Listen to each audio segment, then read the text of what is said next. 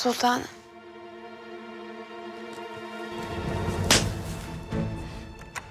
Sen kimsin be hatun? Senin haddine mi düşmüş şehzadenin arkasından iş çevirmek? Sultanım ben. Her şeyi öğrendim. Hürrem yollamış seni buraya. Ona hizmet ediyormuşsun. Yalan. Yemin ediyorum yok öyle bir şey. Kes sesini. Kimi kandırıyorsun sen? Vallahi ben masumum. Hürrem Sultan'la bir alakam yok.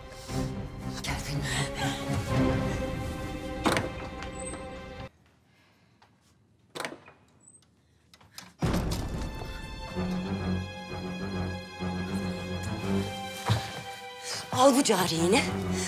Bir daha da sakın şehzademe ilişme. Yemin ederim kendi ellerimle boğarım seni. Ne oluyor Mahidevran? Ne demek bu? Sen gayet iyi biliyorsun ne olduğunu. Bu yılanı bilhassa yolladın. Ne yapacaktı? Vazifesi neydi? Oğlumu öldürmek mi? Sen iyice delirdin. Ben bu haini kovalı aylar oldu. Bana gene iftira mı atacaksın? Boşuna inkar etme.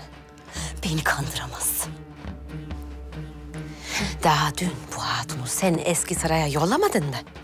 Baktın ki kurtulamıyorsun. Şimdi bana suç atıyorsun. Böyle mi kurtulacaksın hatundan? Hiç yorma kendini. Ben senin ruhunu biliyorum. Elinde olsa bir kaşık suda boğarsın şehzadem. Lakin ben sana bu fırsatı vermem. Mustafa'dan uzak duracağım. Yoksa senin ciğerini sökerim.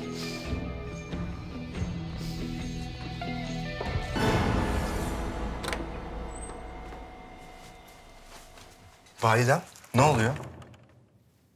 Mustafa, Daireme girip Efsun'u zorla dışarı çıkarmışsınız. sorma oğlum. Efsun Hürrem'in yılanıymış meğer. Bilerek sokmuş koynuna. Duyunca kan beynime sıçradı. Allah esirgedi. Büyük bela atlattık.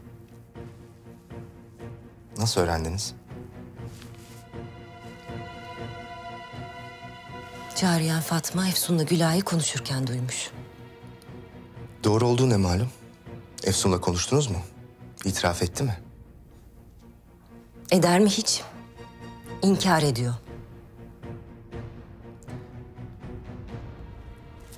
Oğlum.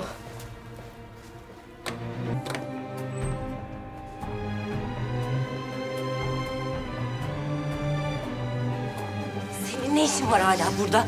Hangi yüze gelirsin? Validem.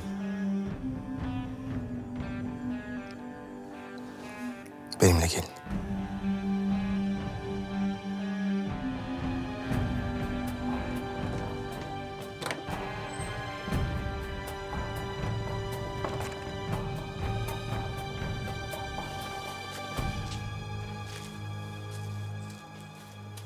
Ne demek oluyor bu Mustafa? Yoksa sen bana, annene inanmıyor musun? Efsun'un içi dışı bir. Böyle kirli oyunların içinde olamayacak kadar saf ve temiz bir hatunu. Her kim Hürrem Sultan'la bir bağ olduğunu söylüyorsa sizi kandırıyor valide. İnanma onlara oğlum. Esas seni kandırıyorlar. Beni dinle. Derhal gönder o cariyeyi. Uzak dur ondan. Onun masumiyetine inanıyorum ben. Ama eğer aksini ispat ederseniz icap edeni yaparım. Derhal gidecek o hatun. Gitmeyecek validem.